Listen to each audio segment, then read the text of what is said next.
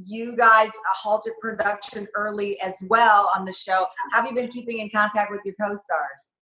Um, mostly um via IG Live. you know, like it?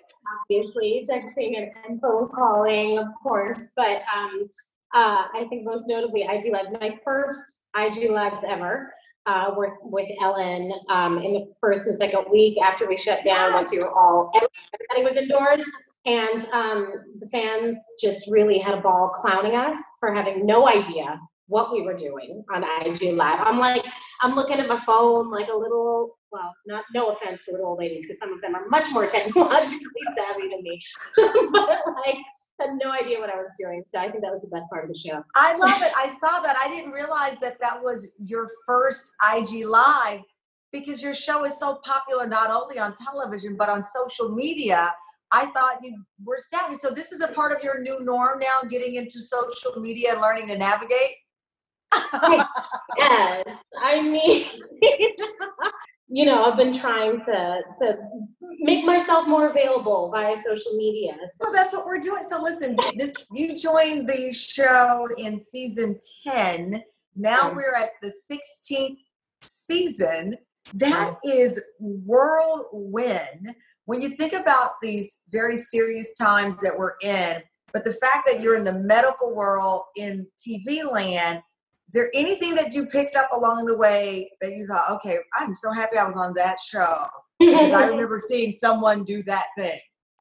I mean, you know, we have these professionals on our show who help us make things look really real so that, you know, our storytelling respects the hard work and the discipline and the effort of these of, of actual medical professionals. So you know i guess um, another takeaway has been the hand washing.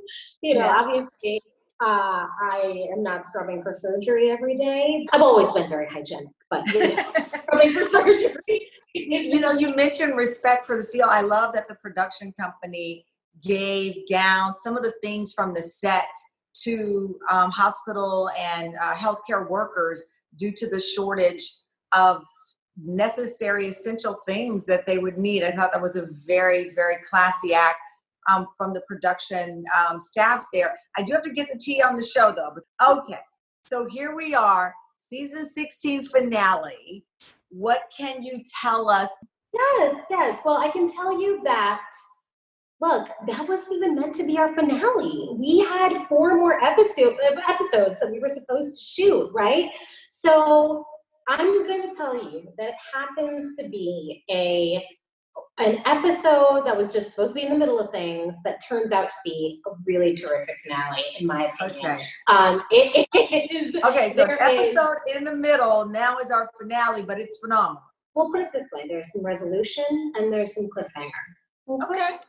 I like okay. People, okay, I'm in now. Uh, before I let you go, we're all about self care and how again we're managing through um, this crisis, and we're going to get through it together. One of the things that a lot of folks are talking about on social media is beauty care. I know you wear your hair natural; it's gorgeous.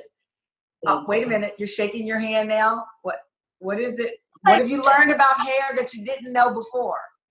Well, you know, it, been a while since I have had to deal with my own hair on a daily basis.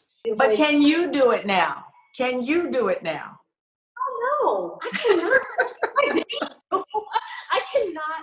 The problem is the styling. I really tried. I like. I tried to like do something fun, and it's the products, it's the brushes, it's the, being ambidextrous. I'm like, I'm not. I I don't have the strength you know so you guys get a, a nice bun you get a nice little struggle bun today because that is the very best that i can do. Well listen everybody's going to, i cut my husband's hair uh, a couple of days ago.